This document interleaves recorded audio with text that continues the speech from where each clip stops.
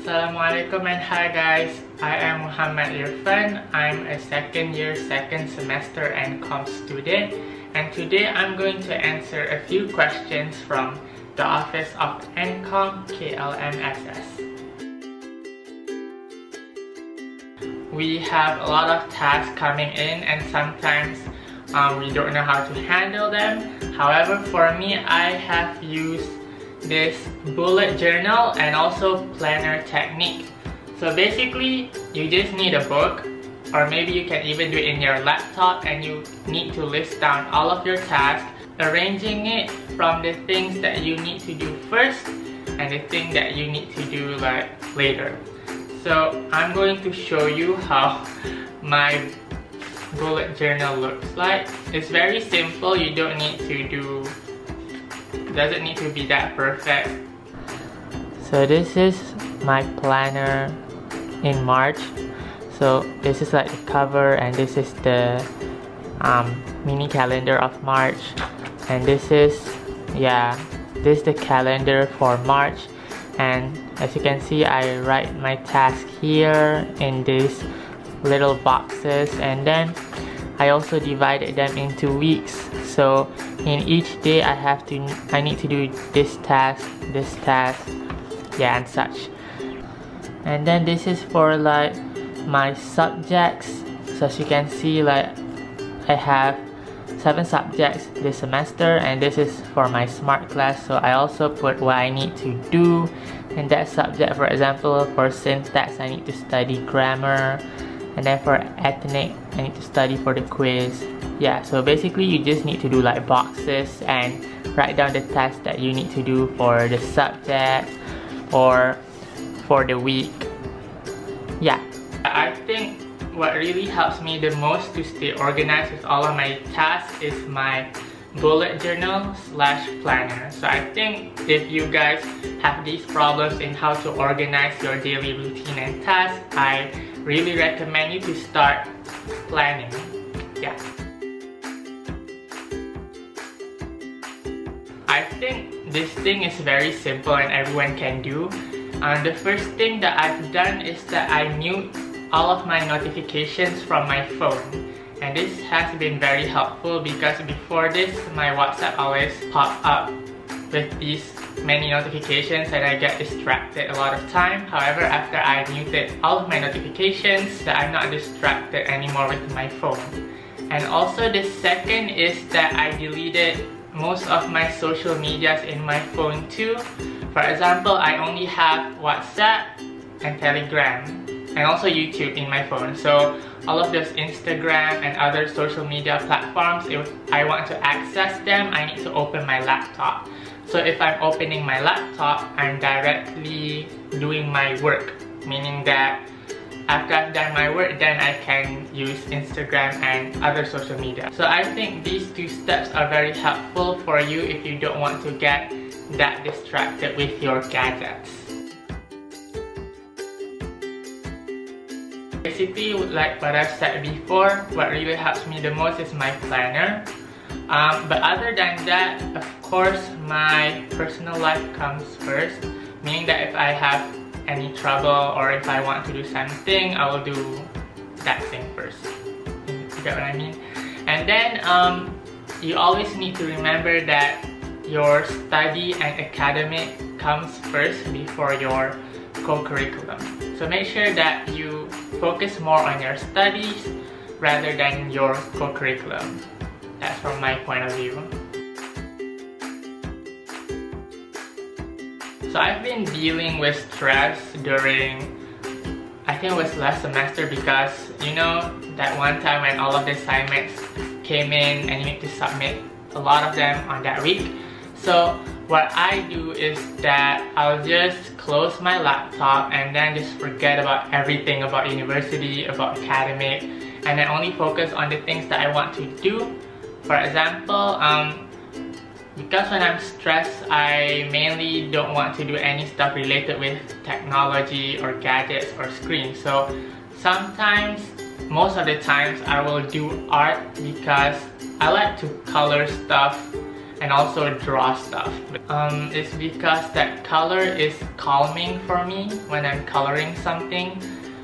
Yeah, so that's basically how I manage my stress by just coloring and drawing anything that I want.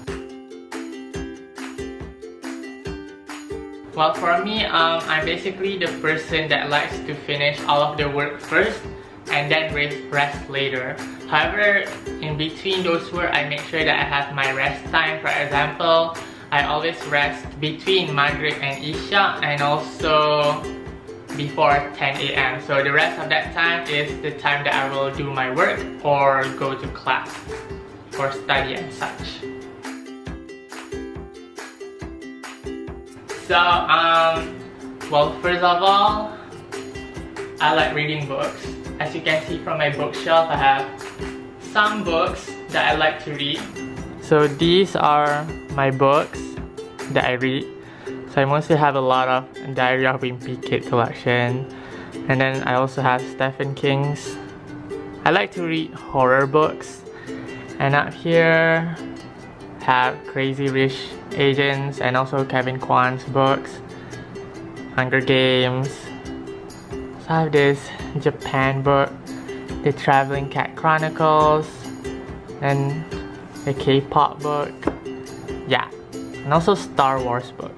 It's because that book is like a place where I can escape and I don't know nowadays I'm not interested in all of those TV shows, drama and Netflix because they're sort of cliche, so that is why I opt for books. And books are a perfect way for you to escape from the real world. You know, that you can imagine inside your head and such. And then for my second hobby is that I like to draw, paint, and my third hobby is vlogging, which means video plus blogging.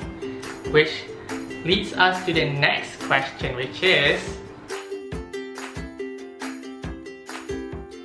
for reading and coloring stuff as I mentioned before. However, for vlogging, it's very interesting because it all started after I finished my SPM.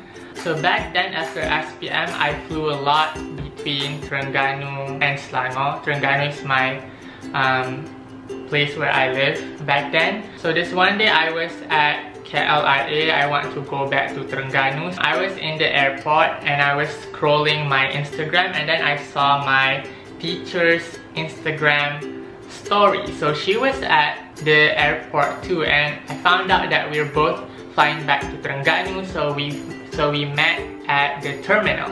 So while we were there, she was also with her um, colleagues. She was back from this, I don't know, this meeting where English teachers and academicians discuss about the English education, I think. So my teacher told this one lecture from UMT that I'm entering my English major, which is English for International Communication. And she gave an advice for me saying that I should open a YouTube account. Weird, right? She said to me that um, if I want to improve my English before going into university, I can open a YouTube account and then start doing video, you know, just talking in front of a camera because she said that it will improve my communication skill and also improve my presentation skill because I won't be afraid anymore talking in front of a crowd. That was very helpful for me because she was right. So you can imagine me talking in front of a camera and sometimes I also talk in front of a camera in public areas, for example at shopping malls or like across the street.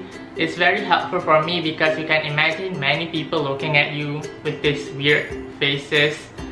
So it really helps me to boost my confidence skill and also be brave in front of a crowd.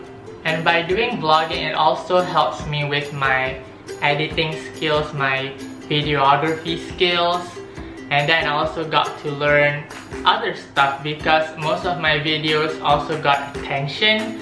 Um, there's one video where I explain English majors and then I've got a lot of questions from other students, for example, other SPM leavers that don't know where to go if they want to do English majors.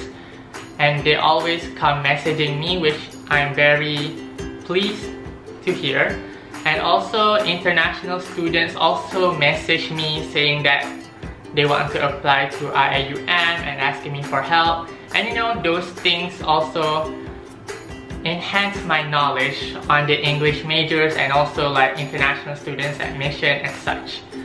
So yeah, this hobby, which is vlogging, has very helped me throughout my life. So I think I haven't feel pressure at all. So for me, I'm not that kind of person that will feel pressured to maintain my grades sometimes because I've lived with Mufti Menk's um, quote saying that um, if you want, you know, like going to classes every day and also education and stuff, basically it start with your niyat. So if you have a good intention, inshallah, Allah will help you along the way and also Allah will look at your effort. So if you give your best, you know, your 100%, then inshallah, you might get a good result. However, if you don't, you will feel happy too because you know that you've done your best in your education and also in your assignment and such. Yeah. So I'm I don't feel pressure at all because mostly when I'm in class or doing my assignment, my objective my objective is to gain a lot of knowledge as possible. That's why I like to read materials that lectures gave us because I can get a lot of knowledge from that and also from doing assignment and all, I give my 100% best? The answer is no, I don't feel pressure to have good results every semester and I don't, I never feel mentally affected by it and yeah. So if you guys are feeling pressure about this, just remember that um, when you're doing something, you need to give your 100% best and if it's not that outcome that you want, then just remember that you did your best and you need to be proud of it. Yeah.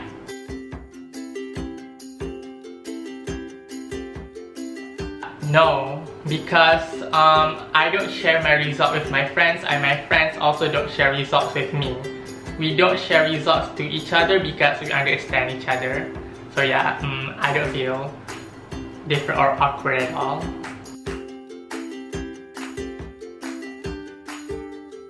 So to answer the question, um, I think no, I'm not doing this to fulfill my parents' expectations because as I said before, I'm not the one that kind of stress out to maintain a grade. Um, maybe the purpose of my success is first because um, like I said before, I'm the kind of person that is hardworking and will give all of my best in doing that task.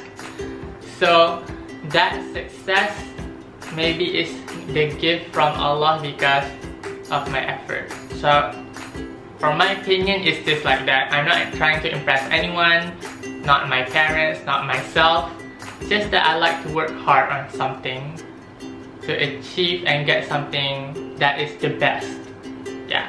So that is all for my interview session for today. I would like to say thank you to Office of ENCOM for offering me this chance and to all the viewers out there, I would like to say when there is something, make sure you do your best, have a good intention in it, and also after you have completed it, acknowledge that you have done everything you have and you already did your best. And whatever the result, the outcome, um, just be grateful with your efforts. So thank you and goodbye.